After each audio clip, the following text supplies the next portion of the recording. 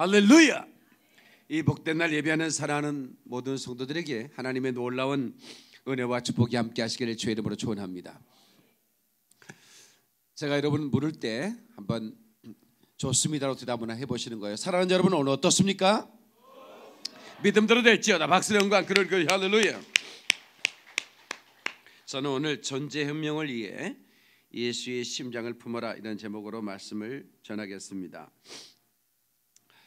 예수님의 심장을 품는다는 것은 우리에게 최고의 행복이 아닌가 싶습니다. 예수님의 심장은 곧 왕의 심장이기 때문에 그렇습니다. 어, 우리는 어, 때로 공포를 느끼고 또 불안을 느낍니다.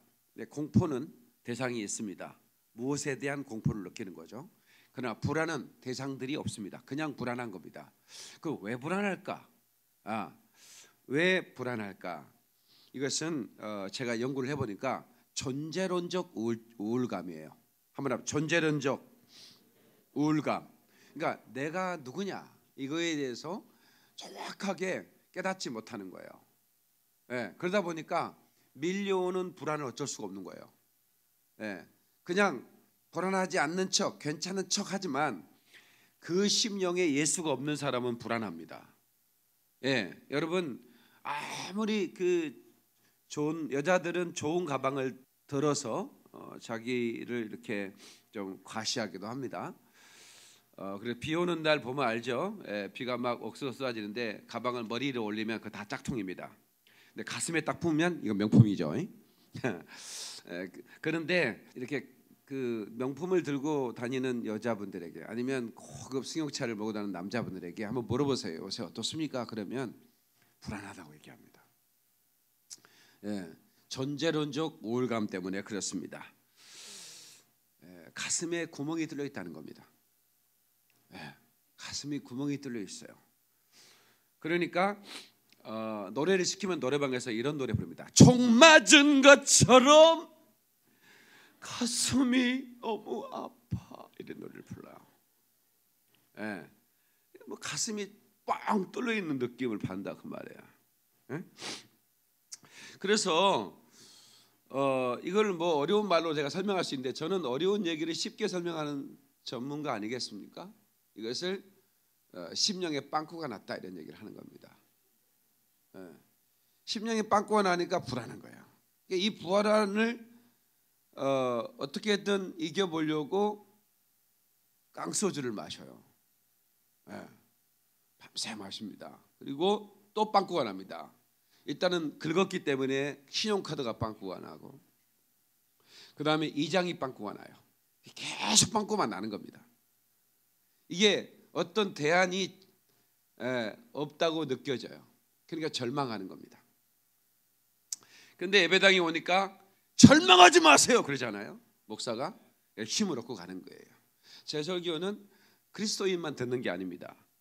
예, CBS 텔레비전은 예수 안 믿는 집에는 안 나가고 예수 믿는 집에만 가는 게 아니거든. 그러니까 이 방송은 지금 여러분이 듣고 있는 이 설교 방송은 전국에 전 세계에 방송이 되고 있죠. 그러니까 이런 무당이 부닥거리하는 그 텔레비전에도 이 방송에 나가고 사찰에도 나갑니다. 가끔씩 무당도 전화 오고 스님도 전화가 옵니다. 예. 목사님, 내참 스님이지만 목사님 존경합니다. 아, 이런 전화를 와요. 근데 왜 전화했냐? 목사님 왜 저를 깝니까? 그러면서 깐다고 또 전화를 은혜 받다가 좀 마음이 상했대. 그렇지만 목사님 때문에 제가 잘 되고 있습니다. 그러는 거예요. 뭔 얘기입니까? 그랬더니 목사님이 절 망하지 말라고 해가지고 지금 절이 잘 되고 있습니다. 절이 나 때문에 잘 된대. 절망하지 마세요. 계속 목사님이 그래가지고 설교를 듣다가 은혜를 엄청 받는다는 거야. 목사님이 절망하지 말아겠다고.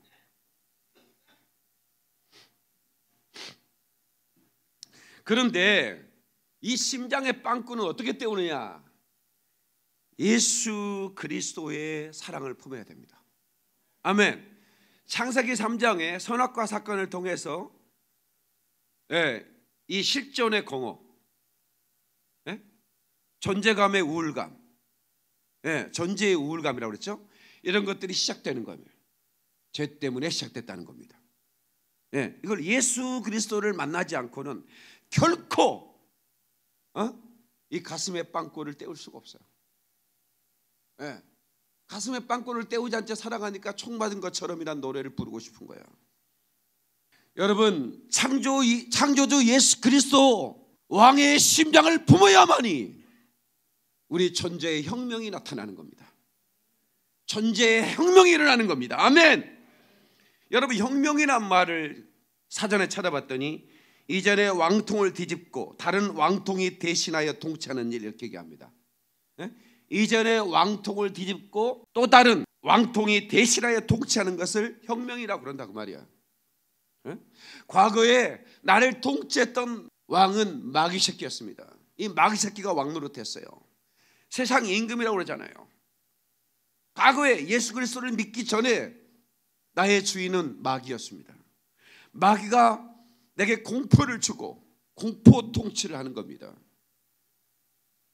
그런데 내가 어쩌다가 예수를 만났는데 그 예수님 만왕의 왕이시라는 거예요. 그분이 내 안에 오는 순간 그분이 나를 통치하기 시작했습니다. 그리고 내삶 가운데 혁명이 일어나는 겁니다. 이것을 존재혁명이라고 말하는 것입니다. 아멘. 마귀가 통치하던 내 삶이 완전히 변화되는 것입니다. 그래서 사전에서는 또 계속 얘기합니다. 이전의 간섭이나 제도, 방식 따위에 단번에 깨뜨리고 질적으로 새로운 것을 급격하게 세우는 일을 혁명이다 이렇게 말합니다. 이전의 간섭이나 제도 방식 따위를 단번에 깨뜨리고 그러니까 우리가 마귀가 왕노릇 할 때 내가 그 안에서 종로로 달 때 내 관습과 습관 이런 거 단번에 깨져버리는 거죠. 아멘이시죠? 그리고 질적으로 새로운 급격한 혁명적 어? 사명을 감당하기 위하여 완전한 변화를 만든 거예요. 이게 전제론적 혁명입니다. 그러면 가슴에 빵꾸가 떼어집니다. 결코 불안하지 않습니다. 무엇 때문에 불안했는 이유도 모르고 불안했던 내 삶이 자유로 가득해집니다. 기쁨으로 가득 채집니다. 새 생명이 넘쳐납니다. 아멘. 여러분, 그렇게만 되면 여러분들은 이제부터 살면 더 이상 과거의 삶과는 전혀 다른 차원이 다른 삶을 살게 되고 열매가 다른 삶을 살게 되는 것이 믿는 사람만 박수령관 그럴 그리 할렐루야. 이 자기 자신의 존재론적 혁명이 나타나기 위해서는 내가 누구인가를 발견해야 되죠. 그러니까 내가 누구인가를 발견하기 위해서는 성경 안에서 나 자신이 어떻게 창조되었고 또 어떤 목적을 가지고 창조되었는지를 분명하게 우리가 발견을 해야 되는 것입니다. 그렇게 되는 순간 시간이 필요 없어요. 혁명이라고 하는 것은 순식간에 일어나는 것이니까. 아멘. 나를 통치했던 이 마귀 역사를 내쫓고 왕이신 예수님을 내 안에 모셔드리는 거죠. 아니 그분의 뜻, 더 of God, 그 하나님의 뜻을 품는 것입니다. 하나님의 뜻을 품었다는 것은 곧 하나님의 심장을 품었다는 것이요. 왕의 심장을 가졌다는 것입니다. 그 왕의 심장을 가진 사람은 거침이 없는 것입니다. 누구도 막을 수가 없는 거예요. 아멘이시죠? 그 심장 가지고 저 열방을 향해 그리고 예루살렘을 향해 거침없이 나가는 겁니다. 하나님께 박수를 영광 거리 할렐루야. 그래서 존재혁명은 깨달음을 통해서 출발한다는 것입니다. 예. 그래서 우리 가장 최고의 버킷리스트가 뭐야 되냐? 예수님 닮는 거예요. 예수 그리스도의 심장을 품는 것이야만 합니다. 예, 버킷리스트가 뭡니까? 그러면 아, 나 저기 저 높은 곳에서 점프해 가지고 거기 다리에다가 뭐꽃 묶고 뛰어내린 겁니다. 아, 쓸데없는 짓을 해야지. 버킷리스트가 수준이 좀 있어야지. 예, 나의 최고의 버킷리스트는 예수의 심장을 품고 하나님의 뜻을 품고 주의 사명을 감당하다가 주님 발 앞에 쓰러지는 것입니다. 수준이 돼야 되는 거예요. 그렇길 원하는 분 박수로 영광 그리고 할렐루야. 심장은 왼쪽 가슴에 있고요. 300g 정도 자기 몸의 손의 주먹 크기 정도 된다고 그랬죠. 우리 몸의 혈관은 16만 킬로. 지구 한 바퀴가 4만 2천 킬로인데 예, 지구를 네 바퀴 칭칭 감을 수 있는 혈관이 내 몸에 있습니다. 그 심장이 쉬지 않고 일하니까 여러분이 이곳에 있죠. 만약에 그 심장이 멈췄으면 공동묘지에 있었겠죠. 근데 이 심장이 어떻게 일어나면 300g밖에 안 되는 이 심장이 3, 에? 이 3,000kg 무게를 지고 에베레스트를 등장하는 그런 고된 에? 하루에 그 심장이 하는 일의 에너지를 포함하면 그렇게 된다는 것입니다. 어마어마하죠. 예. 그러니까 그 심장은 작지만 위대한 일을 하는 것입니다. 을미사변에 우리나라의 공모였던 명성황후가 시해된 사건 아시죠? 예, 일본의 사무라이들은 큰 칼 하나, 이쪽엔 작은 칼 하나 이렇게 두 개를 언제나 차고 다니. 그런데 명성황후의 시야라는 명령을 받고 갯다를 신고 갯다 아시죠? 슬리퍼. 예, 갯다 신고 사무라이 몇 명이 인천항에 도착해서 몰래 경복궁에 침투해서 명성하우를 밤에 목을 베버립니다. 그런데 이상하죠? 일본에서 온 자객이 어떻게 그 어, 여러분 경복궁 가보면 얼마나 많은 집이 있습니까? 안채, 바깥채, 사랑채 하면서 어마어마하거든요. 예, 그런데 그 사람이 한국 사람의 도움이 없이 어떻게 명성황후가 자고 있는데 바로 그 방에 들어가서 목을 벨수 있었겠습니까? 이, 이 얘기는 우리나라에 누군가 그 사람들에게 정보를 준 사람이 있다는 얘기죠. 그 방으로 안내했던 사람이 있다는 얘기면 예, 나중에 알고 봤더니 우범선이라는 이 친구가 예, 일본과 내통하여 명성황후의 방을 아르키고 그 사물에 들어가서 목을 벤 거예요. 나는 조선의 국모다 이렇게 유명한 얘기죠. 예, 마지막 그 말을 외치고 죽었어요. 그래서 조선에서는 자객을 또 보냈습니다. 우범선을 죽여라. 이 매국노를 죽여라. 그래가지고 또 우리나라에 자객이 가가지고 예, 이 매국노 총을 쏘서 어, 그 우범선을 죽였습니다. 근데 그 우범선은 어, 그 사무라이들과 함께 명성황후를 시해한 다음에 일본으로 돌아갔어요. 예, 왜냐면 여기 있다가는 죽으니까 일본 여자를 만나서 결혼해가지고 살고 있는데 예, 자객을 만나 죽었죠. 근데 그 우범선의 아들이 누구냐면 그 유명한 우장춘 박사입니다. 우리 수박을 먹으면서 씨 없는 수박 우장춘 이런 얘기 들었죠. 우장춘 박사가 씨 없는 수박을 발견. 이거는 이제 DNA 조작이 아닙니다. 예, 그냥 그 DNA 조작이 아닌 우량 품질 육성이에요. 그러니까 대단한 거죠. 요즘은 DNA 조작을 하는데 과거에 예, 우량 품질 육성을 하는데 이분이 이제 일본에서 이제 아버지는 죽었고 가부 엄마랑 사는데 우리나라에서는 매국노고 일본에서는 조센징이야. 그러니까 이 사람의 정체성은 굉장히 힘이 드는 거예요 지금 너무나 힘이 들어. 예, 한국에서는 매국노고 분명히 한국인의 피가 흐르는데 일본에서는 조센징에 불과한 거예요. 돈도 없고 또 가는 곳마다 조센징이라고 핍박을 하니까 예, 아주 유명한 그런 대학을 합격했는데 불구하고 예, 돈이 없으니까 예, 농업대학으로 어, 이제 입학해 갑니다. 그래서 이 친구가 머리가 좋아가지고 일본에서 그 농업 그 연구 관련 수장이 되죠. 그런데 우리나라가 해방이 된 다음에 이스만 대통령이 이 나라가 감자를 심으면 손가락 여기 엄지 손가락만 하고 에? 예?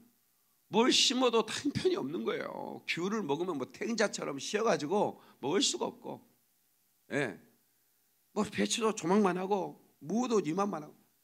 그래서 우장춘 박사를 모셔라 명령이 떨어져 가지고 예, 우리나라 애교 관계자가 가가지고 박사님 예, 박사님께서 우리나라에 와서 농업 발전에 좀 도움을 주시죠. 그랬는데 이 우장춘 박사가 이 일본에서 이제 완전히 자리를 잡은 거죠. 예, 그렇게 조선쟁이라는 얘기를 듣고 그렇게 차별을 받으면서 살았지만 그가 최고의 수장이 됐어요. 그런데 그걸 다 버리고 가고산 다 정리하고 부인을 데리고 한국으로 건너옵니다. 예, 그리고 이제 자기가 개발했던 씨앗들 다 챙겨가지고 예, 가지고 와서 그리고 이제 한국 토양에 맞는 그런 그 제품들 그러니까 제품이라고 하면 안 되죠. 그 식물들 이런 그 이런 것들을 만들어내는데 얼마나 열심히 일을 하는지 그냥 거의 불이 꺼지지 않았대 실험실에서는. 그래서 어마어마한 그분이 만들어내는 걸 심으면 막 수박이 막 아, 막 이만하고 씨도 없는데 막 귤이 막 제주도 귤은 다 그분이 만든 거예요. 그분이 개발해서 만든 거예요. 예. 그리고 뭐 배추, 무, 감자, 옥수수까지 완전히 그분이 우리나라의 가난을 벗어주게 하는 벗어나게 하는 일을 그분이 한 거예요. 우장춘 박사가.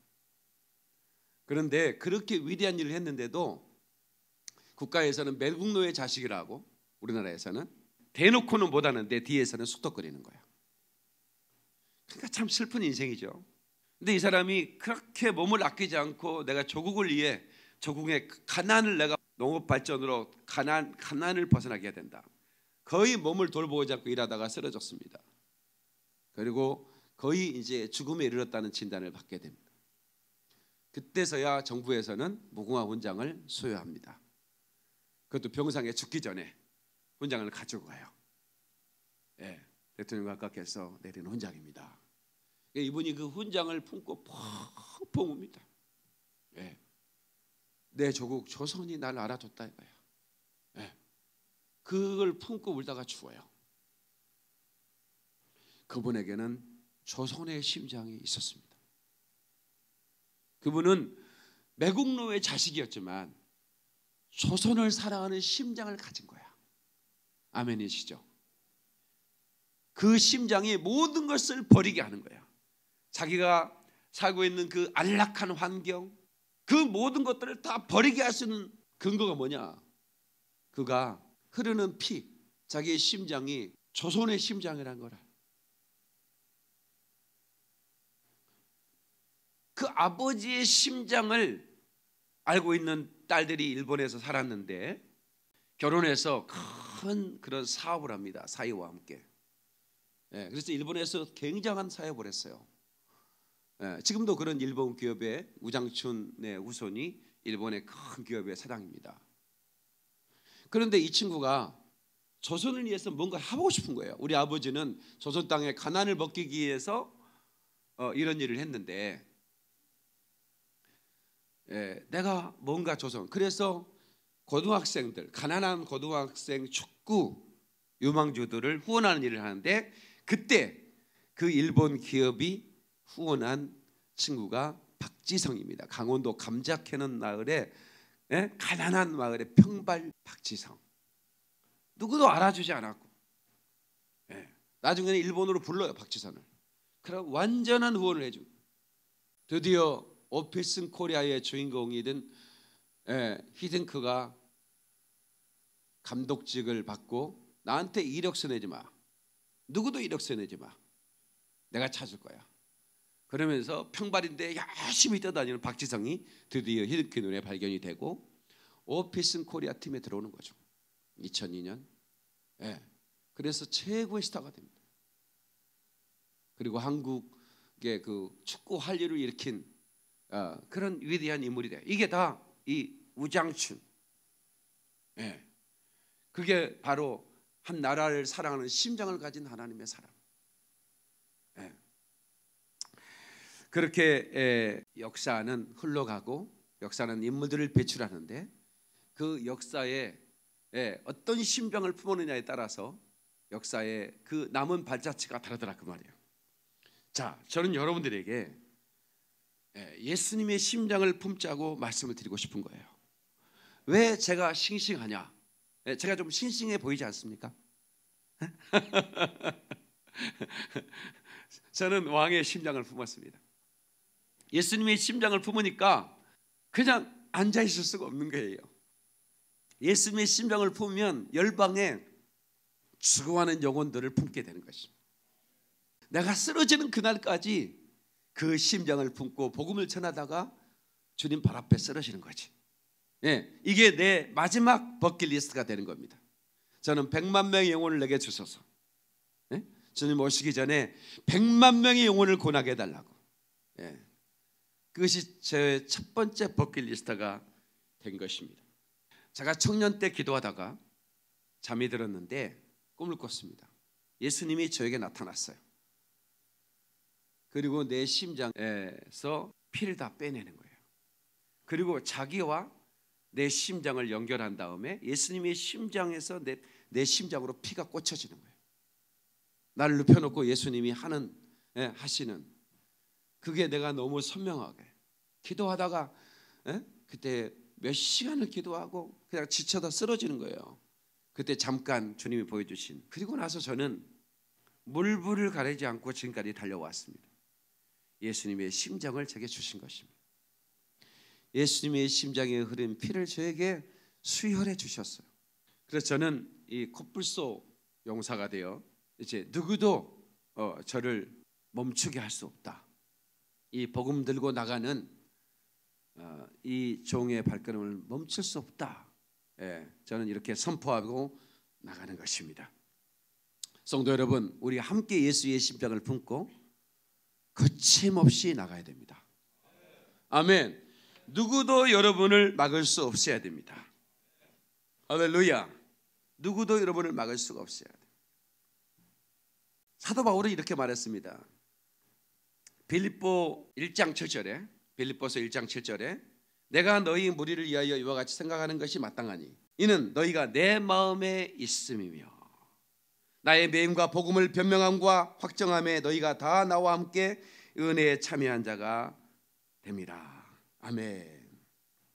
파리의 여인이라는 드라마에서 이동건이라는 그 주인공 남자 배우가 여자 배우 김정은의 손을 잡아쳐 가지고 자기 가슴에 댑니다. 그리고 역사상 가장 위대한 어마어마한 얘기를 합니다. 이 안에 너 있다 이런 얘기를 하는 거예요. 이 안에 너 있다. 이 얘기의 원조는 사도 바울입니다. 예, 너희가 내 마음에 있음이며, 너희가 내 마음에 있음이며. 그러니까 예수님의 심장을 품은 사람들은 이제 더 이상 나만을 위해 살지 않습니다. 누군가를 위해 사는 이타적인 삶을 살게 돼요. 그러면서 바라보는 사람을 다 품어버립니다. 자, 우리 옆 사람을 이 안에 너 있다. 손 한번 갖다 대보세요. 멋있어요. 그냥 흉내만 해도 멋있네. 에, 멋있어. 예. 자, 그러면 오늘 본문으로 들어가야죠. 에레미야 17장 9절로 10절 만물보다 거짓되고 심히 부패한 것은 마음이라. 하하. 마음 얘기를 지금 하고 있어요. 우리는 마음을 하시라고 그러죠. 영어로. 그 심장이라고 그러는 거예요. 네? 그런데 부패한 것은 마음이라는 겁니다. 우리 심장이 부패해졌다는 거. 왜 부패해졌을까요? 마귀가 우리의 심장을 통치했다 그 말입니다. 왕이신 예수님이 우리를 통치한 게 아니고 마귀가 심, 우리의 심장을 움켜쥐고 있으니까 우리 심장이 부패해지는 겁니다. 그래서 존재혁명은 뭐라고요? 왕이신 주님이 통치하는 거죠. 그래서 우리는 어떻게 노래해야 돼요? 주의 심장 가지고 우리 이제 일어나 주 따르게 하소서. 아멘이시죠? 그러니까 우리가 주님의 심장을 가져야만이. 예. 네. 하나님의 통치를 받고 주님의 심장을 가져야만이 거룩한 심장이 되는 겁니다. 만물보다 부패되고 거짓된 것은 우리의 심장이라는 거예요. 누가 능히 이를 알리오마는 나 여호와는 심장을 살피며 폐부를 시험하고 각각 그 행위와 그의 행실대로 보응하나니. 자 보세요. 주님이 뭘 살핀다고요? 우리의 심장과 폐부를 살핀다는 거예요. 우리의 심장에 뭐 염증이 있는가 살피는 게 아닙니다. 여러분 심장와 심장 왕 걸렸, 암 걸렸다는 얘기 들어보셨어요? 혹시? 우리의 장기에 어디든 암이 생깁니다. 그죠? 그런데 우리 심장에는 암이 생기지 않습니다. 이유가 뭔지 아세요? 심장은 뜨겁기 때문에 그렇습니다. 암은 뜨거운 곳에서는 살 수가 없어요. 그래서 여러분들이 그 몸을 따뜻하게 하는 것은 암을 예방하는 거예요. 그래서 겨울에 여러분들이 핫팩 같은 거 어, 아니면 뭐 돌, 돌덩어리 이런 거 그 저기 이렇게 따뜻하게 하는 형 들어봐봐 그거 높이 들어봐봐 지금 하는 형이가 들고 있는 거 높이 들어봐. 다 들도록. 저거 요. 들고 있는 거예요. 돌덩어리를 좀 주머니에 싸가지고 지금 가슴에 품고 이거 굉장히 지혜로운 것입니다. 한 번 딱 꽂아놓으면 두 시간 동안 뜨끈뜨끈하거든. 예, 네, 어, 3, 3, 우리 몸이 36.5도라고 그러는데 한 38도 정도 되면 암세포는 다 죽어버려요. 그러니까 여러분들이 뜨거운 42도 정도 되는데 물속에 들어가면 굉장히 도움이 됩니다. 예, 뜨거운 물을 먹고 겨울에 차가운 물 먹고 뭐 얼음 막 씹어 먹고 막 이빨 깨져가지고 막 그러지 말고 예, 그 어떤 사람은 고기 딱 먹고 어, 시원한 얼음물도 가지고 어, 죽으려고 환장한 사람들이 이 사람들은 예, 기름을 여러분 기름이 찬물에 얼려 보세요 기름이 어떻게 되는지 설거지가 됩니까 그게 뜨거운 물 딱 부으면 이게 기름이 쫙 풀어지잖아요. 그러니까 그런 원리죠.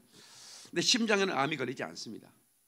예, 그런데 예, 왜 심장을 암 걸렸는가 주님이 살펴볼 일도 없으실 거고 그걸 왜 주님이 살피실까?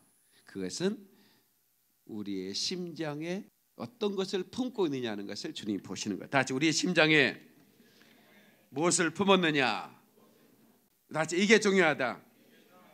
그렇습니다. 그래서 여러분 우리가 사도신경을 날마다 애우죠. 예, 전능하사 천지를 창조하신 하나님 아버지를 내가 믿사오며 근데 이, 예, 이 사도신경이 라틴어로 만들어졌죠. 그 라틴어로 그래도 인 데움 Patrem omnipotentem 이렇게 시작을 하는데 이 credo in이라는 말이 이제 시작 처음 말이에요. 내가 믿사오며 이런 말이 앞에 나오죠. 예. 예, 내가 믿사오며. 근데 내가 믿사오며라는 말을 credo in이라 그런다 그 말이에요. 이미 이제 권사님 여기 봐요. Credo in. 예. Credo 어 이란 말은 심장을 드린다 그런 말이에요. 그러니까 내가 믿사오며라는 말과 Credo in이라는 말은 같은 말이에요. 그러니까 내가 믿사오며인데 라틴 사람들은 뭐라고 그래? 성 이렇게 이, 이 사도신경을 만들었던 사람들은 심장을 드리며 이렇게 얘기하는 거예요.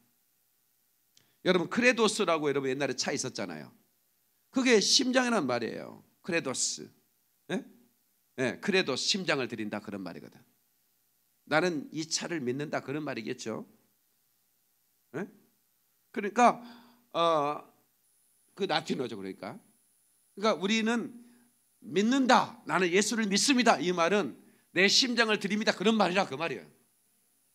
그러니까 우리는 심장을 드릴 정도로 다시 말하면 내가 어, 내 생명을 들여 주님을 사랑합니다. 그래야 진짜 믿는 거라 그 말이죠. 아멘이시죠?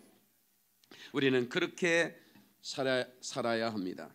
어차피 우리는 어, 한 평생 살다가 갑니다. 조금 빨리 가고 늦게 가는 거 그렇게 중요한 건 아닙니다. 그렇지만 여러분 주 예수께서 재림하실 때 여러분 행위대로 성경은 이렇게 말합니다. 생명록이 있고 행위록이 있다고 그랬어요. 생명록, 행위록. 구원받을 자의 이름이 기록된 책이 있고 그 사람이 행한 모든 일대 보응을 받을 것이다. 그러니까 여러분들이 에, 아유, 구원만 받으면 되지 그러면 안 됩니다.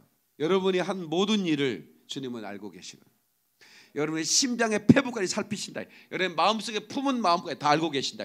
얼마나 지저분한 삶을 살았습니까? 중단하셔야 됩니다. 중단하셔야 됩니다. 돌이키셔야 되는 것입니다. 개가 토하는 것을 다시 먹고 돼지가 누웠던 곳 그 더러운 곳 다시 눕는 에?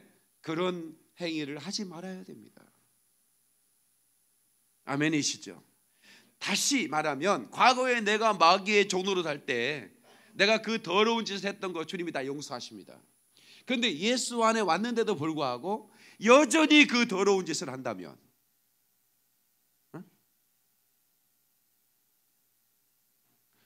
주님은 여러분을 보시고 매우 슬퍼하실 것입니다. 우리의 심장에 빵꾸가 났을 때 그래서 우리 인상은 여전히 불안하고 초조하고 예. 공포스러운 삶을 살아가는데 우리 주님이 그 심장의 피를 다 쏟아내서 우리를 살리셨습니다. 우리에게 자유를 주신 거예요. 그러면 우리는 그 주님의 심장을 품고 이제 일어나서 이제 주님이 기뻐하는 일을 해야 되는 것입니다. 주님이 통치하는 삶을 살아야 되는 것입니다. 주님이 통치하는 삶을 사는 사람이 어떻게 더러운 일을 행할 수 있겠습니까? 그러니까 우리 마음속에 더러운 마음이 들어오면 그 즉시로 예수로 멸해야 되는 거예요. 아멘이시죠? 즉시로 나는 예수의 피를 믿습니다. 다시 나는 예수의 피를 믿습니다. 여러분 마음에 더러운 생각이 들어오잖아요. 그 순간 여러분이 고백해 보십시오. 나는 예수의 피를 믿습니다. 그러면 그 피 안에 담긴 사랑과 용서, 그 흉내낼 수 없는 하나님의 거룩한 사랑, 그것이 나로 하여금 그 사람을 미움을 지우고 사랑하게 만드는 겁니다. 그토록 그 사람만 보면 막 치가 떨리도록 그렇게 분하고 그러지만 그 예수의 피를 믿다고 고백하는 순간 그 사람을 사랑하고 품을 수밖에 있는 거예요. 아멘. 그리고 예? 그 더러운 죄를 거부할 수 있는 용기가 생기는 겁니다. 예? 죄는 순간의 쾌락을 주지만 그 쾌락이 끝난 순간 끝없는 후회를 가져오는 것입니다. 그 죄는 결국 나를 파멸의 길로 머물 그 지옥불에 던져버리고 마는 것이. 그러므로 우리는 그 하나님의 사랑을 받아들인 다음에 그 예수의 피, 그 사랑의 예? 그 폭발적인 그 사랑이 우리에게 흘러온 그 근원이 예수님의 심장인데 그 심장을 바라보면서 나는 예수의 피를 민다고 외치는 순간에 우리 속에 마음에 찾아 들어오는 공격해 오는 스멀스멀 들어오는 그 제약들을 물리칠 수가 있는 것입니다. 아멘이시죠? 고린도전서 5장 17절에 그런즉 누구든지 그리스도 안에 있으면 새로운 피조물이라 이전 것은 지나갔으니 보라 새 것이 되었다 그랬습니다. 다시 이전 것은 지나갔으니 보라 새 것이 되었다. 그리스도 안에 있으면 이 말은 그리스도의 심장 안에 있는 사람들을 말합니다. 그러면 새로운 피조물이 되는 것입니다. 아멘. 출애굽기 32장 32절에 보면 모세가 얼마나 이 예, 백성들을 사랑했는지를 알 수 있는데 그러나 이제 그들의 죄를 사시옵소서. 그렇지 아니하시면 오나건대 주께서 기록하신 책에서 내 이름을 지워버려 주옵소서. 모세는 생명록이라는 게 있다는 걸 알았어요. 하늘에. 근데 내 백성의 죄를 사달라는 거예요. 만약에 그렇지 않으려면 나도 그냥 지워달라 이거야. 같이 죽겠다 이거야. 어떻게 이런 마음을 품을 수 있을까요? 출애굽기 17장 4절에 보면 모세가 어떤 상황에 처했는지 알고 있습니다. 모세가 여호와께 부르짖으려되 내가 이 백성에게 어찌하리까? 그들이 조금 있으면 내게 돌을 던지겠나이다. 그러니까 백성들은 얼마나 간사한지 그렇게 어마어마한 홍해를 걷는 기적을 체험하고 만나와 매출하게 떨어지고 에? 그리고 에? 불기둥과 구름기둥으로 낮과 밤을 지키는 하나님의 그 기적을 체험하면서도 불구하고 조금만 에? 어려움이 생기면 돌을 들어 모세를 치려 한다 이 말이야. 이런 백성들을 향하여 저 새끼들이 나를 치려고 하는데 다 쓸어버리시 하나님 이렇게 말한 게 아니라 저들을 용서해 달라는 거예요. 저들을 용서하지 않을 거면 나도 내 생명책에 주님의 생명책에 내 이름을 지워달라 이거야. 어떻게 이럴 수 있을까? 이게 하나님의 사랑을 품은 사람이야. 하나님의 사랑을 품으니까 그렇게 되는 것입니다. 로마서 9장 1절로 3절에 보면 내가 그리스도 안에서 참말을 하고 거짓말을 아니하노라. 나에게 큰 근심이 있는 것과 마음에 그치지 않는 고통이 있는 것을 내 양심이 성령 안에서 나와 더불어 증거하노니 나의 형제 곧 권력의 친척을 위하여 내 자신이 저주를 받아 그리스도에게서 끊어질지라도 원하는 바라 이렇게 얘기합니다. 그러니까 모세가 가졌던 그 민족을 향한 사랑이 그 심장이 뜨거 뜨겁게 끓었던 심장이 사도 바울에 있었다는 거예요. 네? 사도 바울을 죽이지 않으면 먹지도 않겠다는 사람이 수백 명이었습니다. 늘 따라다니면서 괴롭힙니다. 그런데도 그들이 다 자기 동족이었죠. 동족의 위험이라고 얘기하잖아요. 동족들이 자기를 죽이려고 해. 그런데도 자기 동족을 위해서 어? 내 자신이 저주를 받아 그리스도에서 끊어질지라도 나는 그걸 원한다. 그만큼 그리스도의 사랑을 받으면 예, 그 나라를 사랑하고 민족을 사랑하고 그리고 누군가를 위해서 자기를 희생하려고 하는 마음이 생기는 거예요. 그 기도 들었다고 하나님께서 그래 너는 죽어라 이렇게 말할 뿐이 아니죠. 얼마나 뜨겁게 사랑하는 것을 알기에 사도 바울의 기도를 들으시고 모세의 기도를 중보를 들으시는 거예요. 중보 기도는 이렇게 하는 겁니다. 다 같이 중보 기도. 중보 기도는 누군가를 위해 기도해 주는 거죠. 인터세션이라고 그래요. 예, 이 중보 기도는 어마어마한 능력이 있는데 바로 이런 심장을 가지고 중보 기도를 해야 되는 겁니다. 예? 그 사람을 용서하지 않으려면 차라리 내 이름을 생명에게 지워 주십시오. 이런 마음을 가지고 내가 그리스도께서 끊어진다 해도 괜찮으니 예, 그들을 구원해 주십시오. 이렇게 말하는 거예요. 자, 에레미야는 에레미야서 20장 12절에 의인을 시험하사 그 폐부와 심장을 보시는 만군의 여호와여 이렇게 말합니다. 그러니까 에레미야의 심장 속에는 민족을 향한 어? 그 영원 사랑에 대한 뜨거운 그 열정이 있었습니다. 그래서 에레미야를 눈물의 선지자라고 그러잖아요. 내 심장을 보십시오 그래요. 내 심장을 내 심장 안에는 당신의 사랑이 들어 있고 어? 내가 당신의 사랑을 품었으니 당신의 심장을 품었으니 이 민족을 향하여 내가 이 시대에 그렇게 외치다 쓰러지겠다 이거야. 네. 그런데 말입니다. 오늘 본문의 말씀 보면 너무나 놀라운 말씀이 있습니다. 주님이 심장을 살핀다고 그랬는데 11절에 불의로 치별한 자가 자는 자고새가 낳지 않은 알을 품은 같아서 자고새라는 새가 있는데 조그마한 뱁새 같은 새예요. 뱁새. 뭐 자고새라는 말은 어려운데 뱁새 같은 조그마한 주먹만하다는 새가 알을 품어요. 근데 누구의 알을 품느냐는 자기가 낳지 않은 알을 품는다는 거예요. 에? 예? 새들 중에는 그런 새들이 있습니다. 일단은 자기가 근데 어떤 새는요 자기가 품지 않아 게을러 가지고 내가 어떻게 며칠간 밥도 안 먹고 품고 있어. 아이 안돼 그건 못해. 그래가지고 남의 둥지에다가 알을 낳는 새들이 있어요. 이 나쁜 놈 새끼들이죠 이게. 이 나쁜 놈의 새끼 같은 새가 누구냐면 뻐꾸기 새, 뻐꾸기. 뻐꾸, 뻐꾸.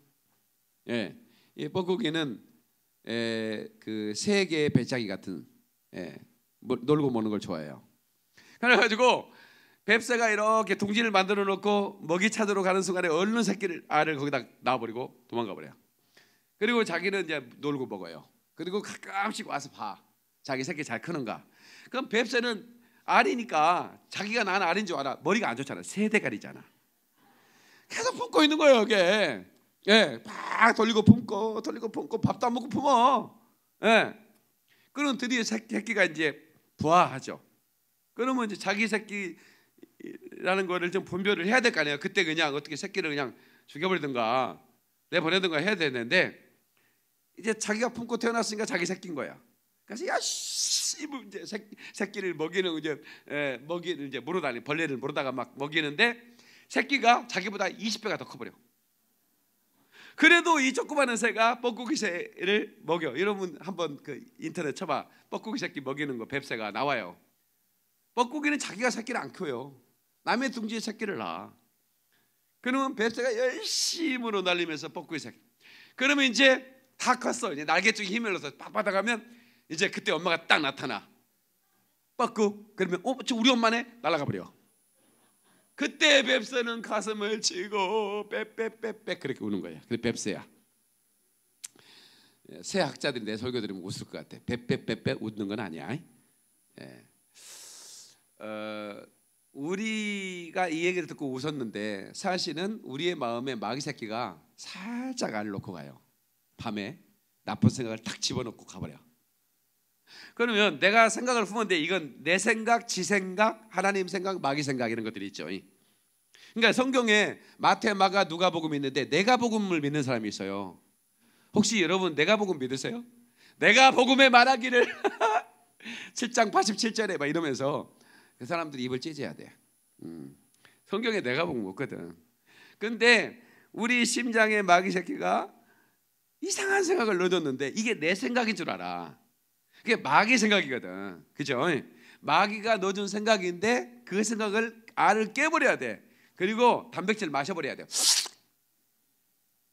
그런데 이거를 내가 낫다고 생각하는 거예요. 내 생각이라고 하는 거예요. 이게 어떤 사람은요 주님의 생각이라고 생각하는 사람도 있어요. 예? 마귀가 넣어준 생각을 이건 주님의 생각이야 이러면서 품고 있다가 망하는 거예요. 나 이런 사람들 많이 봤습니다. 그러니까 신앙생활은 그렇게 하는 거 아니에요. 예. 그러니까 영분별의 의사 그렇게 중요한 겁니다. 마귀와 예? 그래서 사도 바울이 했죠. 예? 내가 이 성령의 소욕과 육신의 소욕 사우에서 내가 갈등을 일으키고 있다는 거예요. 마태복 로마서 8장에 이 두 가지 것이 내 안에서 싸운다는 거예요. 성령의 소욕과 마귀의 소욕.